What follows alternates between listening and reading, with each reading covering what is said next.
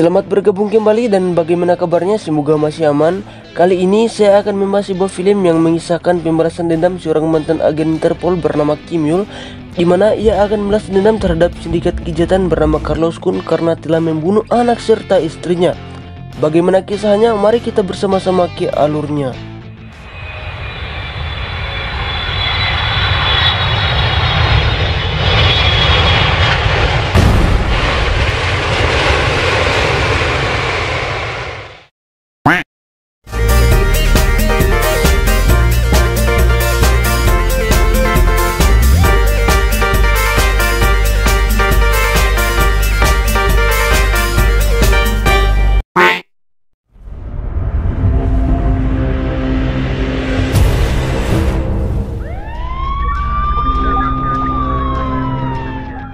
Kisah bermula dengan memperlihatkan penangkapan seorang mantan polisi bernama Kim Yul karena telah membunuh seorang bos pelaku kejahatan bernama Carlos Kun. Hal tersebut adalah bentuk balas dendamnya terhadap Carlos Kun karena telah membantai anak dan istrinya.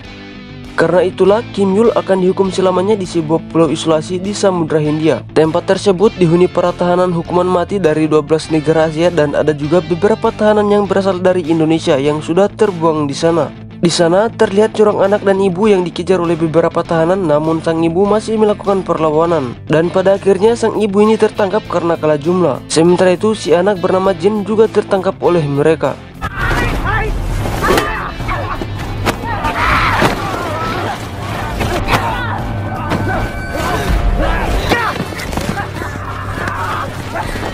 Tak lama setelah itu datanglah tahanan baru tak lain dia adalah Kim Yul. Tanpa sekata-kata ia pun langsung membantai mereka semua yang ingin menangkapnya dengan tangan kosong. Tangkap!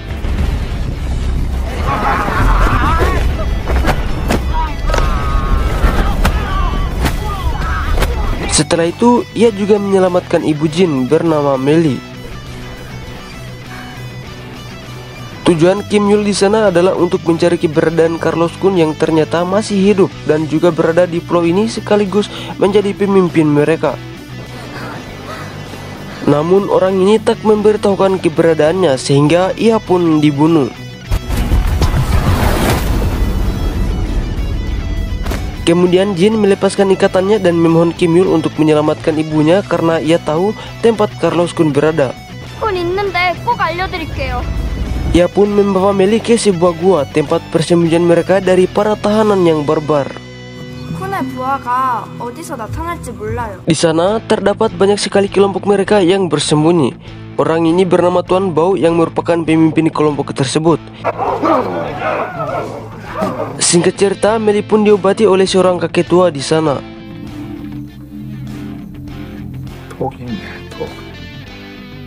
Di sisi lain, Tuan Bo memarahi Jin karena telah membawa orang asing ke tempat persembunyiannya dan pada akhirnya mereka dikagetkan setelah mengetahui kalau Kim Yul mencari keberadaan Carlos Kun, orang yang sangat mereka takuti karena kekejamannya.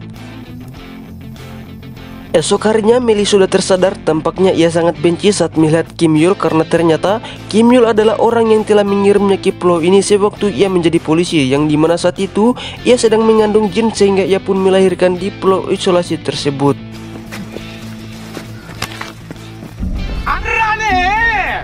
이 아저씨가 엄마를 구해줬어. 네가 여길 왜 왔어? Kemudian Kim Yul menanyakan tempat Carlos Kun berada setelah Meli memberitahunya bahwa Carlos Kun tinggal di dekat Gunung Merapi. Kim Yul pun ke sana.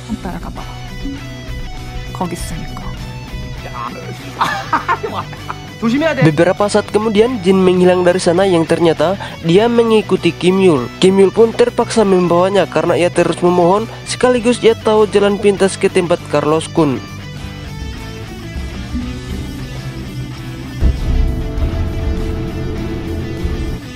아저씨는 쿤을 왜 찾아요? Di perjalanannya, Jin menceritakan kedatangan Kim Yul yang hampir sama dengan Carlos Kun. Hanya saja, Carlos Kun lebih sadis membantai orang-orang di sana. 꼭 그날 같았어요.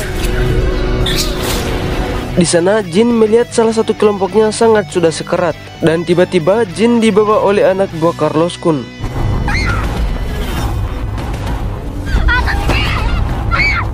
Sementara itu, Meli dan kelompoknya menyusul Kim Yul untuk menyelamatkan anaknya, namun kelompok mereka tampaknya ketakutan saat mau melewati kawasan tersebut.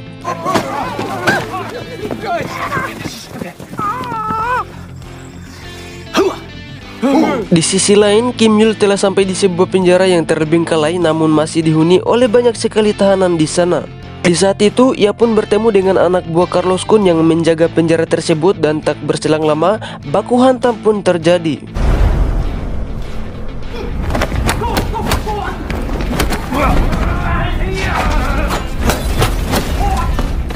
Dengan kehandalannya dalam bertarung, Kim Yul pun dengan mudah menghajar anak buah Carlos Kun yang menjaga penjara tersebut.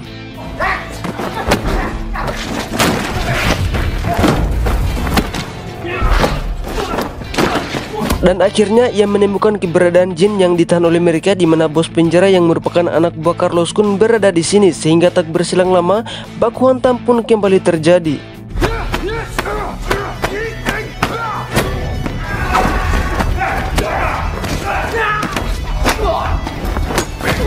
Setelah mengalahkan mereka semua, Kim Yul meminta Jin untuk pergi dari sana. Saat itu, Jin mengingat kilas balik saat ayahnya dibunuh dengan sadis oleh Carlos Kun.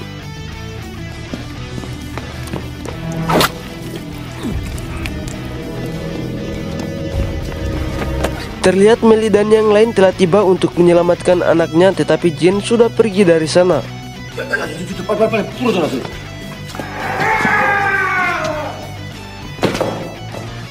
Karena tak mau pulang dengan tangan kosong, mereka pun membawa beberapa tahanan yang telah tersiksa dari sana.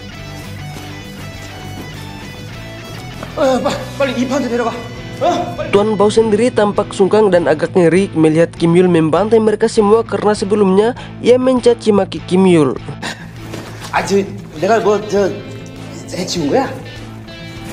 Sementara itu, anak buah Carlos Kun yang berhasil selamat melaporkan bahwa semua anak buahnya telah tewas dibantai seseorang yang mencarinya. Mendengar hal tersebut, dia mengingat kelas balik saat ia dibakar hidup-hidup setelah membunuh keluarga Kim Yul.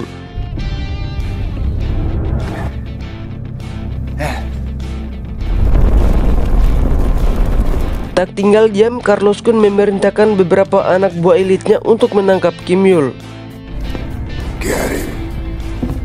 Di sisi lain, Tuan Bau beserta anak buahnya mencari keberadaan Jin dan tanpa mereka sadari, Meli juga ikut menghilang dari kelompok mereka. Ali! Ali! Ash.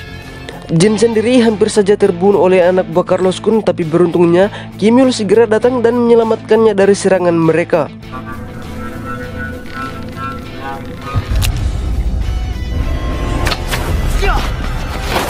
Ia pun bersembunyi di dalam sebuah gedung namun mereka berhasil menemukannya sehingga Kim Yul pun terkena panah beracun tepat di punggungnya.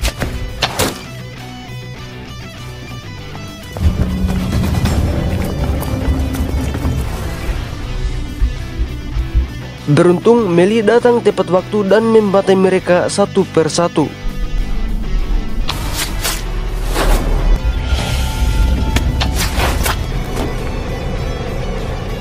Setelah itu, ia pun menemui anaknya dan Kim Yul yang sudah tak sadarkan diri akibat dari panah beracun di punggungnya.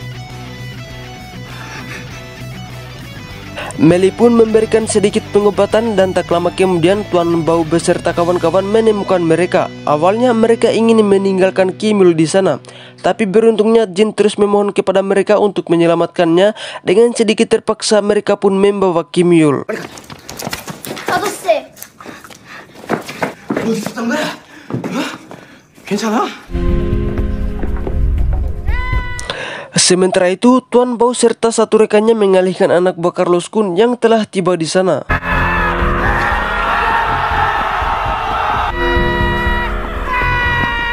Setibanya di dalam gua, Kim Yul langsung diobati oleh si kakek di sana dengan pengobatan tradisional.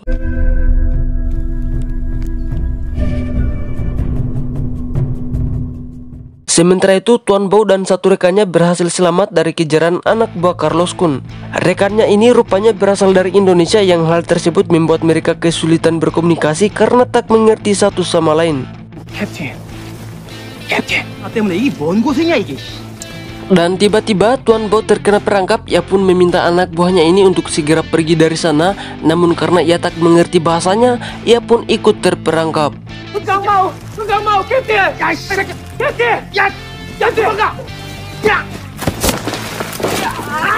Singkat cerita, malam pun tiba di mana mereka telah tertangkap anak buah Carlos Kun yang di sini terdapat tangan kanan Carlos Kun bernama Jason di mana ia memerintahkan si bungkuk untuk membunuh rekan si Tuan Bau ini.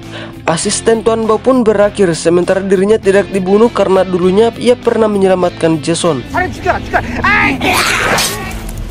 Esok harinya Tuan Bao membawa Jason beserta anak buahnya ke tempat persembunyiannya. Sesampainya di sana, Jason mengatakan akan bersenang hati untuk membantai mereka semua jika tidak menyerahkan Kim Yul kepadanya. I don't have any promise with you. Tuan Bau yang sudah ketakutan setengah mati pun meminta Meli untuk menyerahkan Kim Yul kepada mereka namun Meli tetap mempertahankan Kim Yul. Karena hal itu, perkelahian dalam skala besar pun terjadi.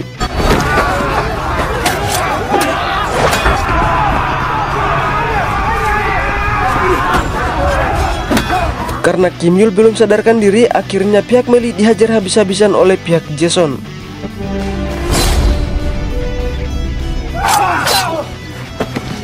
Tibalah saat di mana rekan-rekan Meli sudah banyak berjatuhan, ia pun berhadapan dengan Jason yang karena bukan kekuatan yang seimbang, akhirnya Meli pun dihajar oleh Jason.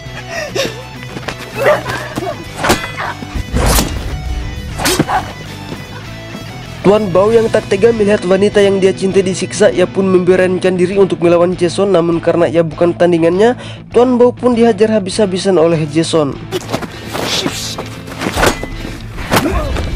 Setelah hal itu, Kim Yul terlihat sudah siuman dan bangkit melawan Jason dan rekan-rekannya.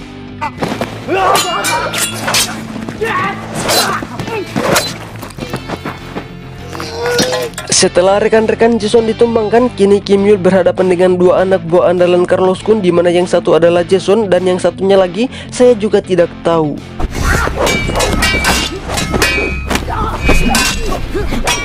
Dengan latar belakangnya sebagai mantan polisi, tentunya dia memiliki gaya bertarung yang bukan kaleng-kaleng sehingga dengan kemampuannya tersebut, Kim Yul berhasil mengalahkan mereka berdua.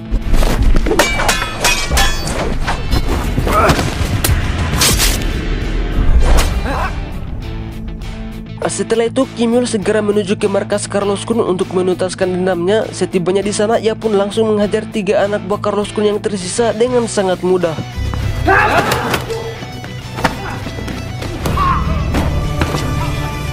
Selesai dengan anak buahnya, Kim Yul pun kini berhadapan dengan Carlos Kun, seseorang yang amat ia benci karena telah membunuh anak dan istrinya. Tanpa panjang lebar, mereka pun bertarung dengan sangat sportif.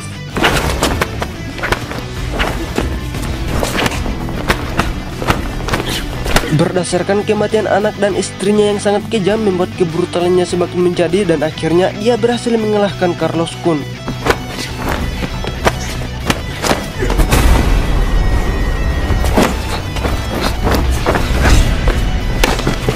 Setelah dendamnya terbalaskan, Kim Yul terlihat berdiri di sebuah tebing dan beberapa saat kemudian terlihat ia sudah berada di alam lain atau sudah mati.